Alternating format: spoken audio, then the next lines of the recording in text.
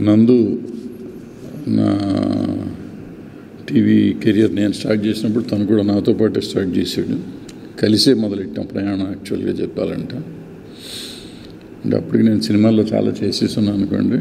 టీవీగా అప్పుడే ప్రా- నా జీవితాన్ని ప్రారంభించాను.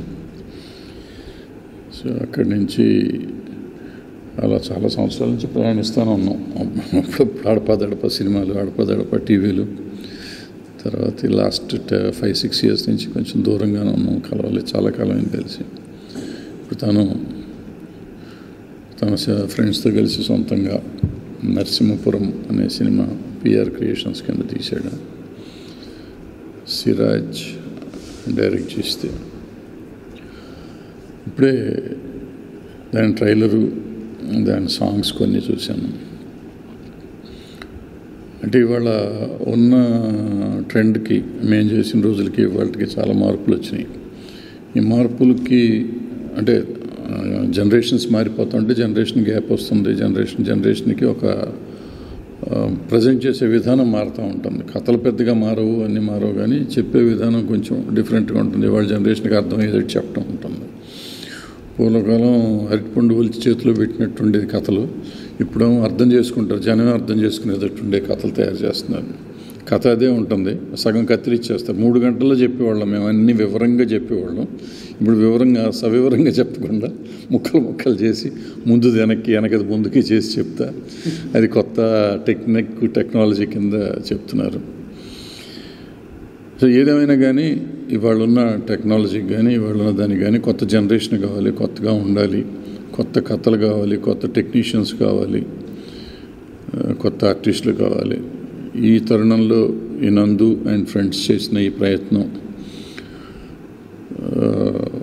సక్సెస్ఫుల్గా ఉండాలి సక్సెస్ అవ్వాలి. ఎందుకంటే నందు నాకు తెలిసినప్పటి నుంచి చాలా హార్డ్ వర్కరు మంచి నటుడు మంచి మనిషి. సో ఇటువంటి వాళ్ళకి ఎప్పుడు ఓ సక్సెస్ ఉంటే ఇండస్ట్రీకి మంచిది సమాజానికి మంచిది. సమాజానికి పనికొచ్చేవాళ్ళు టాలెంట్ ఉన్నవాళ్ళు ఎప్పుడూ ఇండస్ట్రీలో ఉంటే ఇండస్ట్రీకి సమాజానికి మంచిదని నా ఉద్దేశం. అందుకని ఈ సినిమా కోసం నా కోసం కాకపోయినా సమాజం కోసం ఈ సినిమా ఆడాలి. నందు కెరియర్ బాగుండాలి అని నేను కోరుకుంటున్నాను. I wish all the team good luck. Thank you. Thank you sir thank you అందరికీ నమస్కారం. ఇవాళ సినిమా కోసం ఎంతోమంది కళలు కంటారు. ప్రతినిత్యం ఎంతోమంది సినిమా కోసమే లైఫ్ని దాదాపు త్యాగం చేస్తుంటారు. అలాంటి జర్నీలో నేను కూడా సినిమా మీద ఉన్న ప్రేమతో నా టీం శ్రీరాజ్ బల్లా డైరెక్టర్ నా ఫ్రెండ్ అతని మీద నమ్మకంతో అలాగే ఫణి ఇంకో ప్రొడ్యూసరు అలాగే కెమెరామెన్ కర్ణ గారు వీళ్ళందరి సపోర్ట్తో మిగతా టీం అందరి సపోర్ట్తో ఏదైనా ఒక్కళ్ళ వల్ల ఏది సాధ్యం కాదండి. నలుగురు కలిసి నాలుగు చేతులు వేస్తేనే ఏ కార్యమైనా సఫలమవుతుంది. సో అలాంటి ఒక సినిమా ప్రాజెక్ట్లో మేము మేమందరం కలిసి ఒక ఫ్రెండ్లీ అట్మాస్ఫియర్తో ఒక ప్రాజెక్ట్ని ఒక కథని నమ్మి ఆ కథని ప్రజెంటేషన్ బాగా చేయాలనే ఉద్దేశంతో దాదాపు వన్ ఇయర్ నుంచి కష్టపడుతూ ఒక మంచి ప్రోడక్ట్ నరసింహపురం అనే సినిమాని మేము చేసాం మనస్సాక్షిగా మనస్ఫూర్తిగా చెప్పాలంటే దీనికోసం మేము మాకు తెలిసినంతలో మాకు చేతనైనంతలో మా హండ్రెడ్ పర్సెంట్ ఎఫర్ట్ పెట్టాము ఇంకా మిగతాది ప్రేక్షకులు మీరు ఆదరించి దాన్ని విజయవంతం చేయాలి. సో ఈ సందర్భంగా ఈరోజు ఈ first look launch Bharadwaj sir చేతుల మీదుగా చేయించడం నిజంగా నా అదృష్టం. ఎందుకంటే ఇందాక సార్ చెప్పారు టీవీ కెరీరు సార్తో పాటు నాకు మొదలైందని. ఆయన ముందు నేను చాలా చిన్నవాడిని. సార్ ఎన్నో విజయవంతమైన సినిమాలు డైరెక్టర్గా ప్రొడ్యూసర్గా చేశారు. తర్వాత టీవీ ఇండస్ట్రీని కూడా ఒకసారి అందులో ఉన్న ఇది కూడా తెలుసుకుందామని వచ్చిన తరుణంలో అనుకోకుండా నా అదృష్టం కొద్దీ నేను ఆ టైంలో సార్ని కలవటం జరిగింది. నా టైం బాగుండి అప్పుడు సార్తో ఫ్రెండ్షిప్ జరిగి సార్ మాకున్న అంటే భరద్వాజ గారి గురించి ఎంతోమంది ఎన్నో చెప్పారు. కానీ నేను ఒక విషయం చెప్పగలను. ఆయన టాలెంట్కి ఫస్ట్ ప్రోత్సాహం ఇస్తారు. ఎలాంటి వాళ్ళైనా కూడా అంటే ఇనిషియల్ స్టేజ్లో నేను నా కెరీర్ స్టార్ట్ అయినప్పుడు అప్పుడు నేను థియేటర్ ఆర్ట్స్ నుంచి వచ్చాను. అప్పుడు అందరూ ఎంకరేజ్ చేస్తూ మీరు నటిస్తే టీవీల్లో సినిమాల్లో బాగుంటుంది అవకాశాలు ఉంటాయంటే అందరూ అవకాశాలు ఉంటాయని చెప్తారు కానీ అవకాశం ఇచ్చేవాళ్ళు ఎవరు ఉండరండి.